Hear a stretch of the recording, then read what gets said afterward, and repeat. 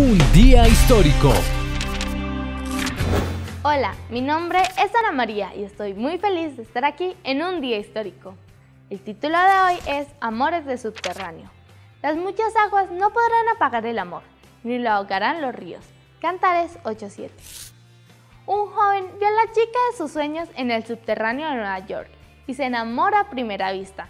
Intenta algún tipo de acercamiento a ella, pero el vagón está repleto. Luego de unos minutos logra abrirse paso entre la multitud, pero ella ha desaparecido. ¿Cómo encontrarla en una ciudad tan grande? Esto fue exactamente lo que le sucedió a Patrick Mover, diseñador gráfico de 21 años, el 4 de noviembre de 2007, mientras viajaba de Manhattan a Brooklyn. Decidido a no perderla, Patrick pidió ayuda por internet. Así, dibujó el rastro de la persona que le había robado el corazón y colocó el día que la había visto. 48 horas después la había encontrado.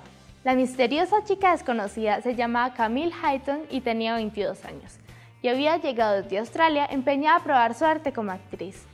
Durante varias semanas, Camille y Patrick recorrieron los principales programas de televisión y contaron su historia de amor a todo el planeta.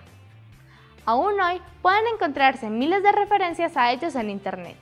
Sin embargo, la relación sentimental entre ellos no prosperó. Salimos unos dos meses, nada más. Creo que fue la situación tan intensa la que nos unió.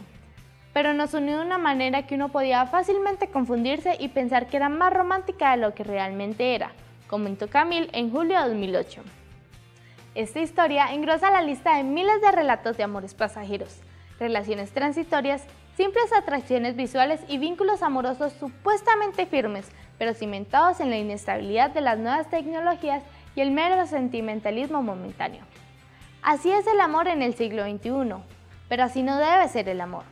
El abanico de amores virtuales y de subterráneos es tan accesible, común y práctico que se volvió popular y normal.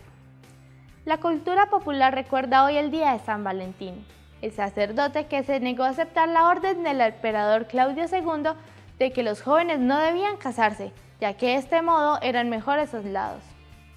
Valentino oficiaba matrimonios en secreto, y esto le costó la vida. Fue martirizado el 14 de febrero del año 270 después de Cristo. Hoy puede ser un día histórico. Deja de lado los amores pasajeros, los amores de subterráneo, y sienta sus cimientos sobre relaciones estables, sólidas y duraderas. Busca consejos, ora pidiendo sabiduría. No te dejes llevar por una mera atracción física.